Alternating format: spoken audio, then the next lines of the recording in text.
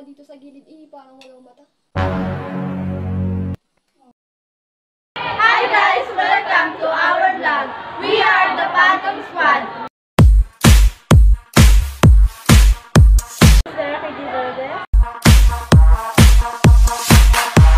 My name is Divina Joy Dugay. And me is Maria Beatriz Comisar.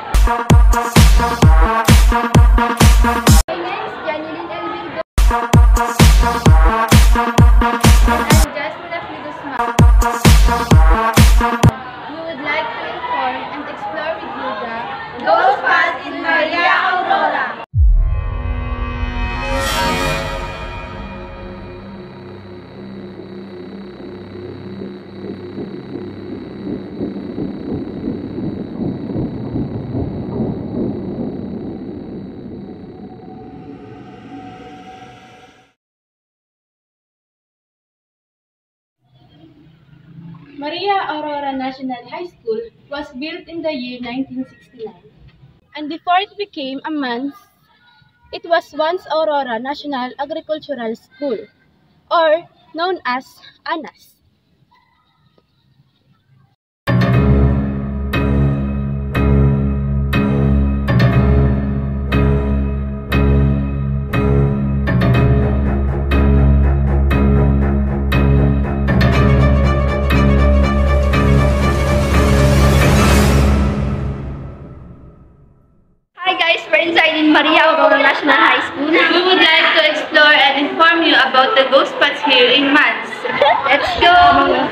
Sabi nila, some of the students have experienced or have felt that someone is watching them or someone is glaring at them actually. And we wanna take a look here since it's um hidden. Oh. It's hidden. And, oh. Pero akala ko walang tao. Tatak, sige.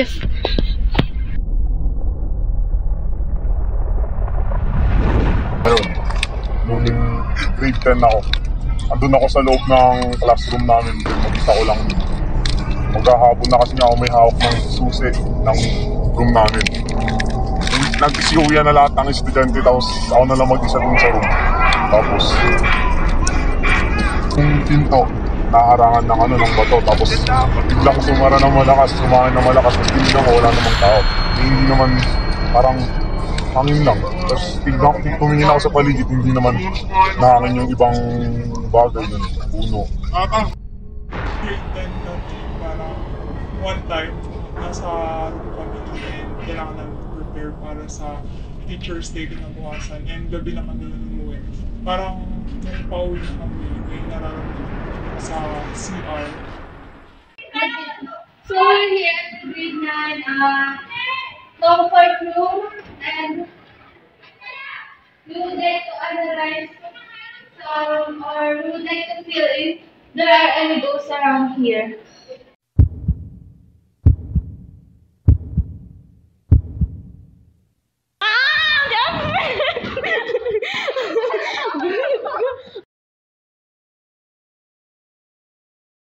Was built decades ago to prevent the people from passing through the rivers, but there's the saying that if building a bridge, there must be someone to give back to lessen the danger and make the bridge stronger. May naalala ko one time, habang nag-iisip kami tungkol sa mga ghost spots dito sa Maria Aurora, I wonder about the bridges that was built here. And that became a way for me, for us to go to this Baubo Bridge to know or to feel if the ghosts are uh, that they're saying is right. We also have a witness that could tell us his experiences during in this bridge during the devil time, 3 a.m.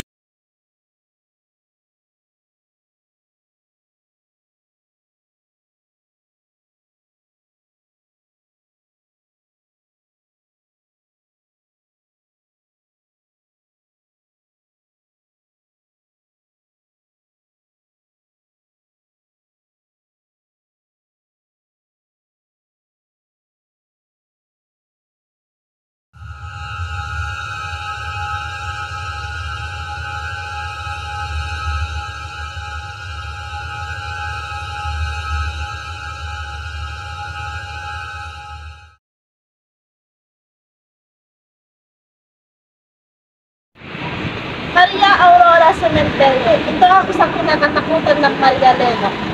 Pagdating sa usaping kababalaghan, there are numerous rumors that have said that each night there are crying ladies. Asking for help under Squeakable School not, not only night, maging sa umaga, tanghali o hapon.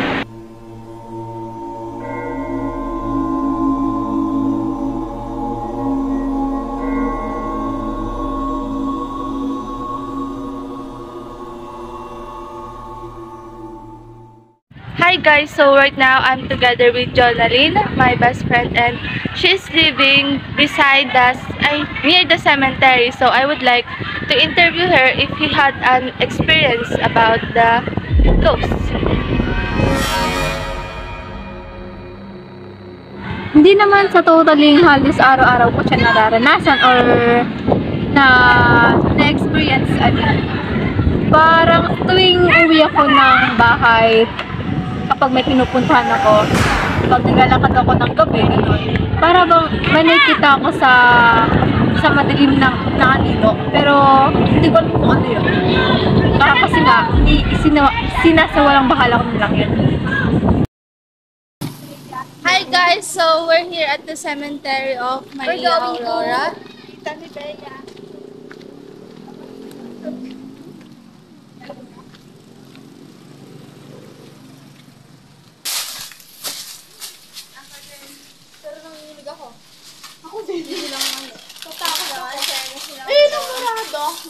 Morada. Mary Ann.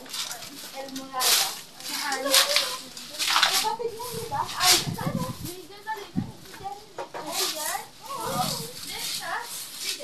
Sabi po. Ang alam ko pag iglesia sa bahay nila. Wow! Ay, ala! Aray, na, oh. Janus. Ay, oo, kamukha mo siya, bro.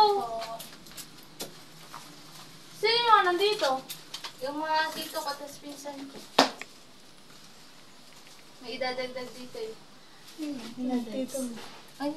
Di, di ba, pag pa, magpapasko kasi noon, hindi na namin inisip kung ano-ano, hindi na namin nime- ninemema. Tsaka namin nung pinag-usapan, nung kasabay na kami. Kasi may lakas na loob na kami magkwento. Nung andun pa lang kami, ayan, oh, doon sa Big Mac yung tapat. Pagdating mo. Sabi na, kasabihan ng mga matatanda.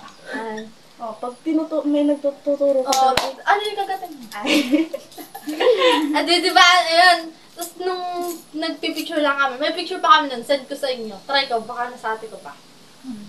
Just as in, Ay, nakakatakot yung mukha ng lalaki ay. Ayun, oh. Wala, kinakabahan ako. Huwag kayong ganyan, Huwag kayong ganyan. Kasama niyo na lang. Okay lang yan, kasama niyo ako. Sino lalaki? Wala. Ayun, ayun dito. Tingin ka dito.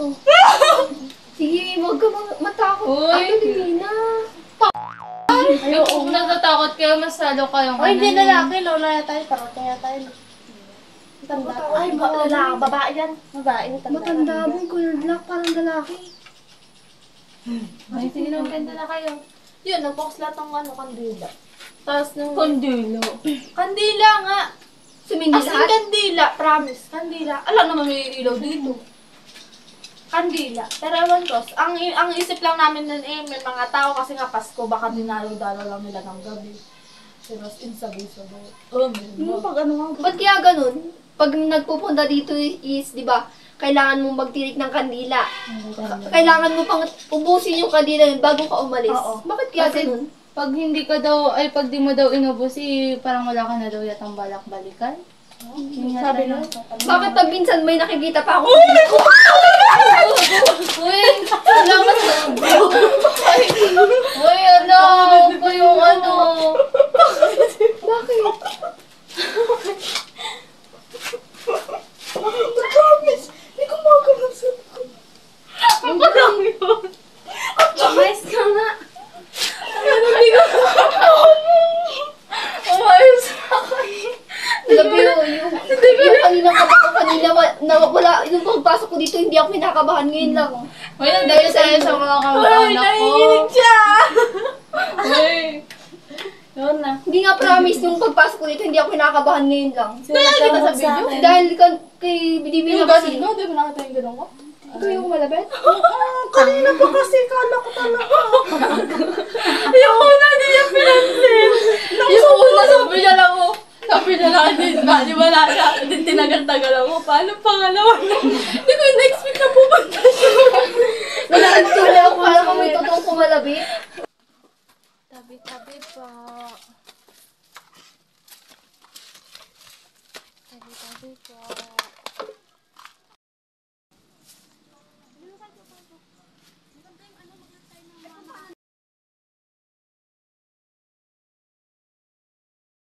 Search Maria Aurora, named San Vicente Ferrer, thus was built in years um, 1962, and before it became a church, it was a cemetery. And the search before was in a Mount Carmel. So uh, we would like to uh, give you um, an information about the ghosts that I've experienced in Karma, but I think we can't be allowed to go inside since we are from the different school. So sadly, I can't give you any information about either. Go.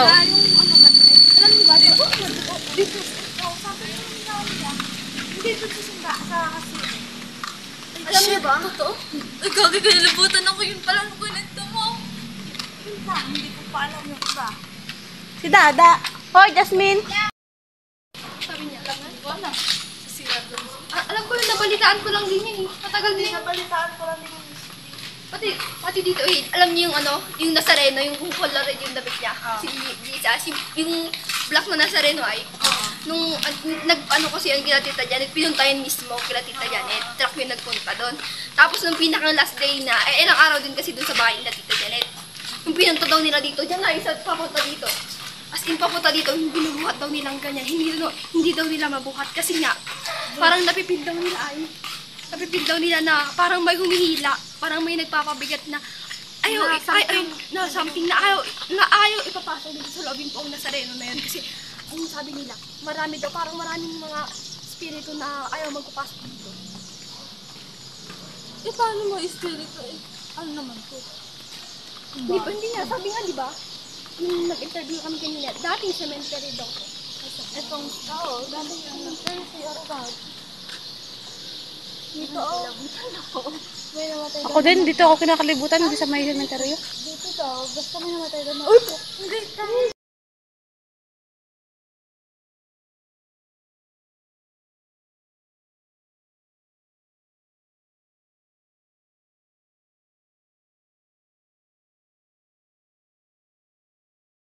Narito po tayo ngayon sa retreat house kung saan nagpupunta ang mga estudyante upang magnilay-nilay ng kanilang mga problema sa isa't isa.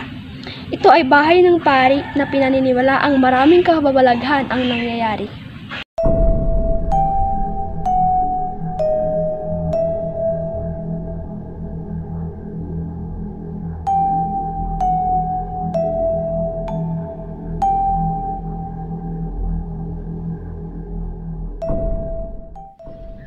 Niyo ba dito sa retreat house daw, sabi ni Ate JD, nung isang araw na nagkukwento siya sa akin, may nagbigti daw dito. Dito? Oo, di ko alam kung saan part daw. Basta may nagbigti daw dito. Tapos, pag nagre-retreat daw sila dito, eh, may nagsasabi daw sa kanila na madre yata yung kasama nila. Sabi daw, eh, tignan-tignan daw yung mga kasama. Huwag daw humihiwalay sa mga kasama. Baka may nasasama na, daw- na daw na hindi naman daw karapat-dapat. Tapos may mga name tag daw na binibigay sa kanila. Ang akala daw nila for identification. Nagpunta na ba sila dito? Oo, for identification. Pero ang ano daw, yung purpose daw ng name tag, para daw maano ay malaman na tao sila. Kasi may mga ano daw, sumasali daw ng mga ano, sa mga estudyante na mga ano ay, parang, oo, kaluluwa. Parang double ganger. Pero hindi nila nakakopy yung name tag. Kaya daw, yun daw yung purpose ng name tag dito. Gabi. Anong ginagawa dito? Saan dito? Ano yung nagbigti?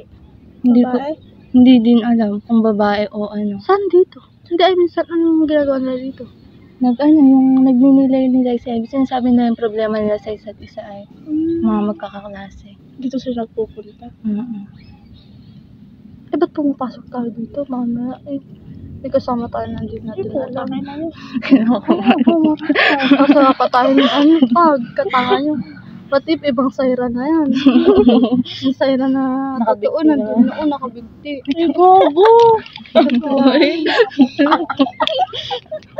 Tapos ang daming taasan. Ito na, yun ang... What if may nag, iba din nagpakamatay pa dito? tara na. Ayoko na. Hindi na natin alam. Tara na. Uy, Bea. Hey guys, pauwi na kami. Hi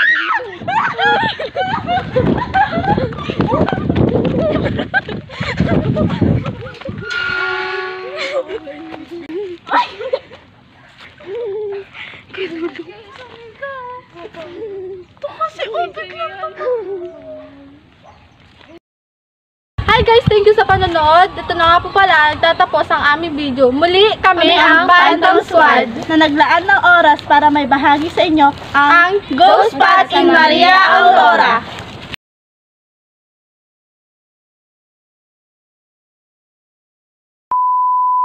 Ang sabi din ng iba, wala na yung, wala na yung kaluluwa nila dito. A few moments later. Ready sila sa sa isang lugar. Naiwan na yung kaluluwa nila dito.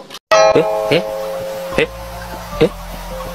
ええー、えー、Pag nagpupunta dito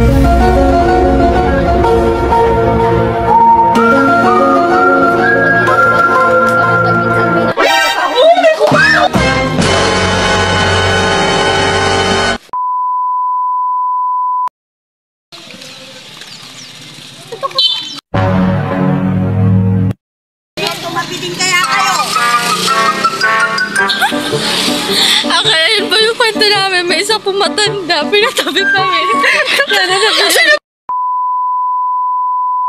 Wait a minute. Who are you? Maria oh, Aurora.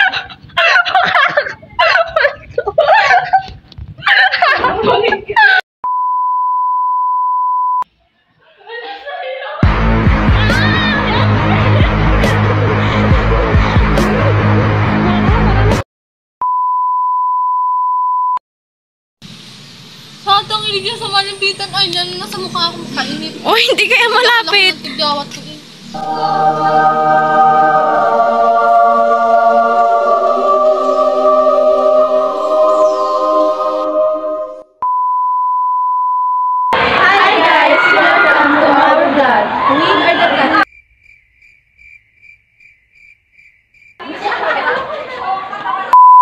There are so many bunga, but I think we can choose some of the bunga cause it's, we might fall under the pant. Just then. Wow, may suha.